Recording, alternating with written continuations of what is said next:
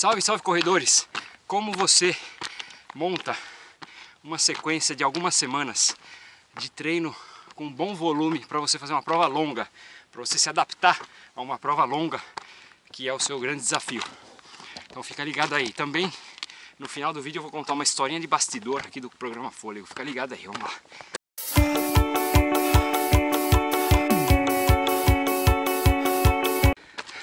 Então vamos lá, você está se preparando para uma maratona. Aí você vai pegar uma semana onde você vai encaixar seu treino longo no final de semana. Não que seu corpo saiba que o, é fim de semana, mas a sua cabeça sabe e você é corpo e mente. Então, encaixe seu treino longo no fim de semana. É, durante essa semana, você alivia um pouco nos treinos para chegar bem disposto no final de semana e ficar confiante com aquele treino longo que você vai fazer é, é num ritmo fácil, então você vai tem que chegar longe. Esse é o seu objetivo, você não pode estar cansado, senão você morre no meio do caminho. Por aqui. É, bom, depois desse treino longo, você se recupera um pouco, alguns dias, e aí você começa a fazer treinos de velocidade durante essa segunda semana. Alguns treinos curtos, para depois, é, depois de um ou dois, um treino de velocidade, vai, sei lá, você fez seu longão no sábado, você descansou segunda, terça, na quarta ou quinta, quarta você está colocando um treino de velocidade intervalado, que assim você consegue ter um alívio para as pernas, né, depois do longão. Na quinta você tem um treino de ritmo, já num bom ritmo. É... Acho que eu me perdi, não, tá aqui. Na quinta você tem um bom treino de ritmo, sei lá, 10, 8. E aí você vai usando, a partir dessa quinta-feira, você vai usando vários dias para acumular quilometragem, para somar quilômetros. Então o seu longo foi de 30 naquele final de semana. Nessa outra semana aí, depois desse treino de velocidade, você vai tentar acumular uns 40, 50. É, por quê? Você não pode acumular 30 só, porque 30 você consegue fazer de uma vez só, você não vai dividir um monte de treininho curto para chegar no fim, de, na soma de tudo dá 30. Então você tem que chegar na, numa soma que dê mais do que isso, para você se adaptar. Qual o objetivo? Tem sempre que se perguntar, para que, que eu estou fazendo isso? Treino longo te dá confiança, te adapta a ficar muito tempo correndo. Os treinos mais curtos e, e frequentes é, acostumam o seu corpo a, a, praticar aquele movimento da corrida. E aí, quando sua prova é muito longa, isso te ajuda. É, então você não vai fazer isso toda hora. Você não vai fazer toda semana um monte de treino é, para acumular um monte de quilômetro toda semana está jogando, você está arriscando demais com o seu físico. Você pode se lesionar.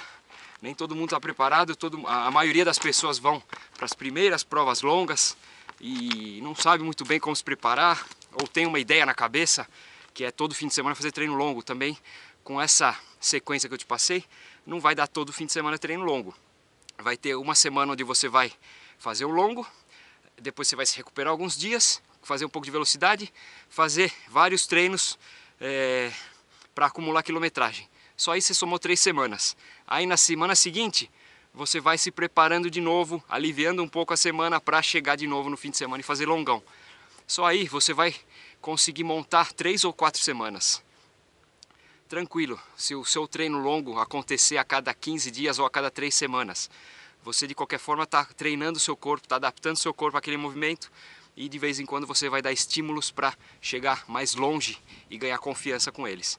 Deu alguma coisa errada? Sempre vai dar coisa errada. Seu trabalho, você trabalhou demais, não conseguiu treinar, você fez um treino longo, estava muito cansado, não dormiu direito, não comeu direito no dia anterior, seu treino longo não saiu. Você vai ter que reajustar a planilha. Talvez para ganhar essa confiança, você precise mais é, tentar repetir o treino longo do que seguir toda aquela sequência de treinos que eu falei para acumular quilômetros. Então, vai depender de cada pessoa. Sempre que alguém te aparecer com alguma verdade, considera que o ser humano é, não existe verdade absoluta para o que é físico. É, tem aquilo que a gente segue, que é, que é a intenção de fazer, e tem aquilo que a gente adapta para a nossa realidade, tanto física quanto é, profissional, é, pessoal. A gente não está obrigado a treinar, não somos atletas profissionais. Então, se ficou alguma dúvida, é só fazer uma pergunta aí, só deixar um comentário. Eu sou Enzo Amato, profissional de Educação Física. Você acompanha toda quarta-feira uma dica de treino aqui no canal do programa Fôlego. Ah, os bastidores, fica aí. E a historinha de bastidores é a seguinte, eu faço vídeo e eu mando os arquivos para o Gustavo editar. Eu coloco uma sugestão de título, só que nem sempre ele segue essa sugestão. Gustavo está pensando ali, é, o conteúdo do vídeo ficou legal? Legal, mas eu vou colocar um título que chame atenção. E aí quando você enxerga aquele, quando você vê aqueles títulos, a polêmica dos treinos sei lá o que, é, essa foi a ideia do Gustavo. Então se você está assistindo essa minha fala, é porque o Gustavo está confessando a culpa, porque ele que está editando esse vídeo e se ele deixou aí para você assistir, é porque ele concorda, ele sabe que quando surge algum título que chama muito sua atenção e que é, envolve polêmica, sei lá o que, ele que criou esse título, certo? É, mas não liga tanto para o título, o título te chama atenção, liga pro, é, é, se concentra no conteúdo do vídeo e vê se aquele vídeo serve para você, certo? É isso aí. Vejo você na semana que vem com mais dicas de treino aqui no canal do programa Fôlego. Se inscreva e me siga nas redes sociais, Exalma Treinador. Abraço, até a próxima semana. Tchau.